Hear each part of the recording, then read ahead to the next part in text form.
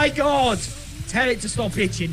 Hello, hello, Josh. You, you need to go to Africa. You can solve world hunger.